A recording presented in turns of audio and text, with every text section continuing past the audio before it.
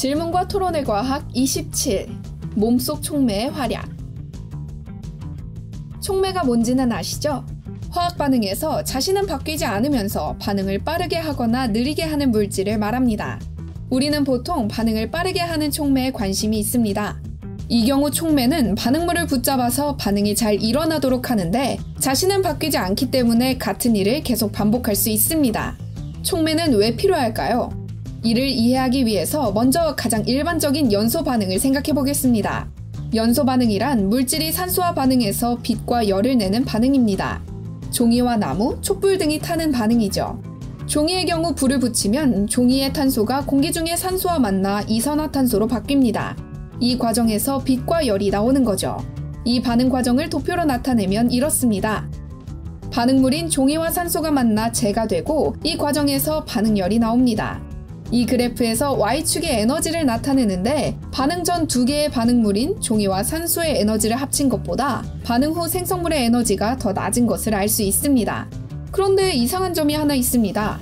반응물이 바로 생성물로 가는 게 아니라 중간에 고개 하나를 넘습니다. 즉, 처음에 어느 정도 에너지를 가해야 이 반응이 일어날 수 있다는 거죠.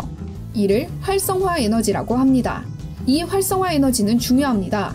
이것이 없다면 종이나 나무가 불을 붙이지 않아도 공기 중의 산소와 반응해서 바로 타버릴 테니까요. 활성화 에너지에 해당하는 에너지를 우리가 주어야 비로소 반응이 일어나는데 이것이 바로 우리가 불을 붙이는 행위인 거죠. 그렇다면 이러한 활성화 에너지는 왜 있는 걸까요? 두 개의 물질이 만나 화학 반응이 일어나려면 입자가 서로 충돌해야 하고 그것도 입자들이 일정한 양 이상의 에너지를 갖고 있어야 비로소 반응을 시작할 수 있습니다. 이 최초의 마중물 역할을 하는 에너지가 바로 활성화 에너지인 거죠. 어떤 반응의 경우 이러한 활성화 에너지가 매우 큽니다. 그런 경우 좀처럼 반응이 일어날 수 없습니다. 이때 필요한 게 바로 촉매인 거죠. 촉매는 활성화 에너지를 낮춰 반응이 쉽게 일어날 수 있게 합니다. 과거 질소 비료를 만들 때 이러한 촉매가 결정적인 역할을 했습니다. 이를 하버 보슈법이라 하는데 이 공법을 개발한 프리츠 하버와 카를 보슈는 이 업적으로 모두 노벨상을 받습니다. 이 공정이 비료 제작에 사용되어 수십억 인구를 먹여 살리는데 지대한 공헌을 했기 때문입니다. 우리 몸에서 이러한 촉매 역할을 하는 것은 특별히 효소라고 합니다. 생체 촉매인 거죠. 영어로는 엔자임인데 효모 안에 들어있는 이라는 뜻이라고 합니다. 인류가 수천 년 전부터 효모를 사용해서 술을 빚었는데 이러한 효모가 알코올 발효를 일으킨다는 것을 일찌감치 알아차렸던 것이죠. 우리말도 효소와 효모가 헷갈리는데 영어로도 서로 관계가 있는 단어였군요. 어쨌든 촉매는 기적을 일으키는 물질입니다. 불가능한 반응을 가능하게 하니까요. 오늘 얘기 중에서도 이런 내용이 나옵니다.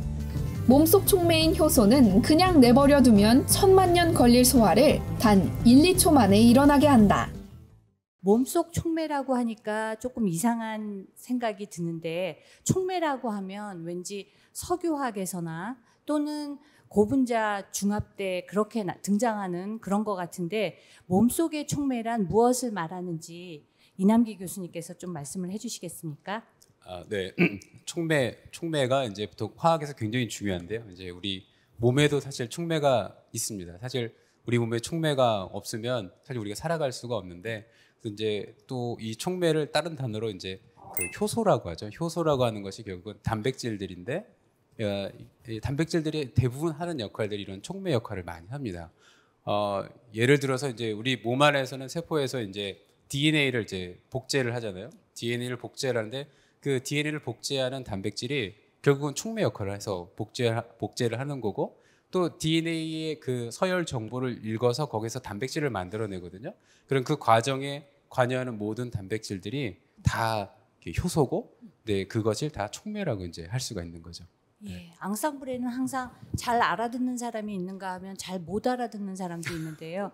제가 사실은 지금 무슨 얘기지 하고 했는데 그거를 좀 더 쉽게 설명을 해주실 수 있는 윤한수 교수님께서 좀 말씀을 해주시기 바랍니다. 네, 어, 좀더 쉽게 쉽게 설명한다는 건 이남 교수님도 충분히 쉽게 설명하셨는데요.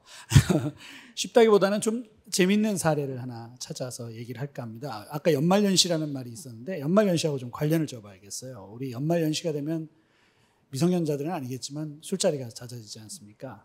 우리 알코올 대사 그러니까 굉장히 중요한 신체에서 일어나고 있는 화학 반응이거든요. 술 많이 마시고 알코올 대사 빨리 돼서 술 빨리 깨고 싶은 마음은 저도 많이 들어봤습니다. 이 알코올 대사에도 촉매가 관여하는데요. 효소가 관여합니다.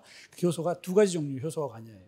알코올이 먼저 한 번 효소가 들어가서 알데하이드, 아세트알데하이드라는 걸로 변형이 되고요.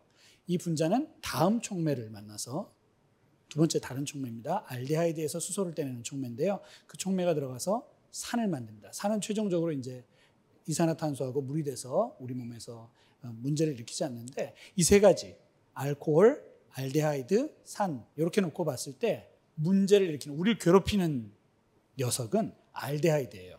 CHO.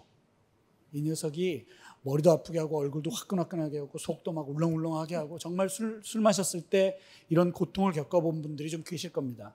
그 고통을 겪게 만드는 게 바로 이 알데하이드인데 이 알데하이드를 만드는 첫 번째 효소 ADH 그러니까 alcohol dehydrogenase라고 하는 그러니까 알코올에서 수소를 떼내는 이 효소가 재밌게도 우리 동아시아 사람들한테 더 많이 예, 있다고 합니다.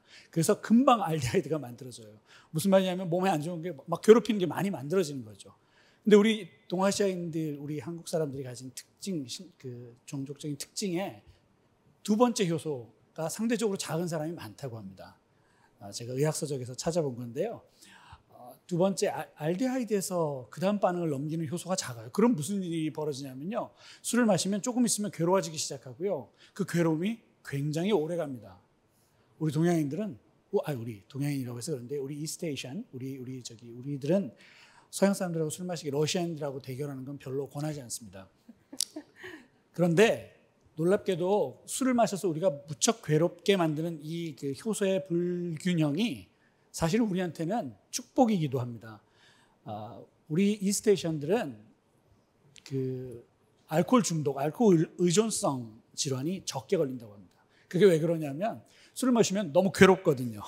그래서 실제로 술 마시고 그 알코올 의존성이 있어서 문제가 되는 경우에 치료제로 두 번째 효소 알데하이드를 산으로 만드는 숙취를 해소하는 이 효소의 반응을 못하게 만드는 그걸 약으로 써서 알코올 중독을 치료하는 약물로 쓴다고 합니다. 고통을 겪어보게 하는 거죠. 우리에게 효소, 이 효소 두 가지가 사실은 불균형을 이루고 있는 것이 과연 어떤 분들한테는 괴로운 일이겠지만 우리 전체로 봤을 땐 또 어쩌면 축복일 수도 있다고 생각됩니다. 재밌었나 모르겠습니다. 네. 예. 아, 적어도 알코올 분해 효소에 대해서 알아듣게 설명을 해주셔서 너무 감사하고요. 연말연시에 술뿐만이 아니라 과식으로 소화불량에 시달리시는 분도 계시는데요. 소화에도 역시 효소가 관여하지요. 예, 윤한수 교수님께서 아, 네. 말씀해 주시겠습니까? 네. 제가 먹는 것 쪽 전문가라서요. 네. 어, 술과 또 고기가 빠지면 안 되죠. 네. 우리가 음식을 먹으면 음식을 소화하는 과정에도 당연히 예, 다양한 효소들이 작용하는데 뭐 탄수화물, 지방, 단백질에 다 다른 그 반응들이 있을 테니까 우리 고기 먹는 거 생각하고 단백질 흡수를 생각하면 단백질은 아, 네, 단백질은 여러분 단백질 이렇게 사진 같은 거 구글이나 이런 찾아보면 둥글둥글하게 그려지고 뭐 이렇게 아령 모양으로 그려져 있고 한데 사실 단백질은 그런 모양을 갖는 분자가 아니고요. 실제 분자는 그냥 길쭉한 하나의 실입니다. 이 실이 엉겨 있어서 엉긴 모양이 그런 모양이 되어 있는 거예요. 그래서 단백질을 소화하는 과정이라는 건 다름 아닌 이 실을 토막토막토막 끊는 겁니다. 단백질은 20개의 아미노산이 연결이 되어 있는 건데요. 이 연결된 아미노산을 톡톡톡톡 잘라서 작은 아미노산으로 만들어서 몸에 흡수해서 다음 반응에 쓰이게 만드는데 그것이 소화의 과정이고 이 과정엔 반드시 효소가 참여하도록 되어 있습니다. 만약에 효소가 없다면 고기를 먹어도 기운이 안 납니다. 고기 먹고 기운 나게 되는 이유는 우리 몸속에 있는 효소가 아주 부지런히 일해주기 때문이죠. 예. 효소의 역할을 잘 들으셨는데요. 사실 만약에 몸속에 효소가 없으면 단백질을 한번 먹으면 그게 오래 갈 수 있습니다. 그죠? 오래, 오래 갈 수가 있는데 그러지 않고 효소가 잘게 잘게 쪼개줘서. 근데 결국은 단백질 분자의 결합을 쉽게 끊게 활성화 에너지를 낮춰주는 거라고 생각하시면 될 것 같습니다. 그러면 활성화 에너지를 낮춰서 효소가 소화를 더 빠르게 해준다. 근데 어느 정도 빠르게 해주는지 그 속도에 대해서 역시 속도의 대가이신 이남기 교수님께서 한, 한 말씀 해주시겠습니다. 네, 대가는 아니고요. 근데 보면은 아, 그 효소마다 그, 휴- 그 기능이 좀 다, 그 효율이 좀 다르긴 한데요. 어떤 놈들은 한, 한 100만 배 정도 빠르게 하는 놈도 있고, 어, 어떤 반응은 아, 이게 10의 17승배, 10의 17승배까지 하니까 그러니까 어, 그냥 간단하게 생각하면 한, 한 천만 년 정도 걸릴 반응을 천만 년 정도는 걸려야지 소화될 거를 거의 한 1, 2초 만에 이제 일으키는 그런 그런 효소들도 이제 있습니다. 그래서 어, 우리 몸 안의 효소 어, 굉장히 중요합니다. 네. 그렇게 빠른가요? 예. 불가능한 것을 가능하게 만들 정도로 빠르군요. 네, 우리 효소가 없으면 뭐 우리는 뭐 이게 죽은 목숨이죠. 네, 맞습니다. 네. 그래서 화학이 얼마나 중요한지 모릅니다. 예. 이렇게 불가능한 것을 가능하게 만드는 것이 화학입니다. 그래서 얼만큼 화학이 위대하고 그 다음에 인체가 얼만큼 경이로운지 새삼 느끼게 해주는 그런 어, 토론이었다고 생각합니다. 지금까지 카오스 질문과 토론의 과학이었습니다. 다음에 또 만나요.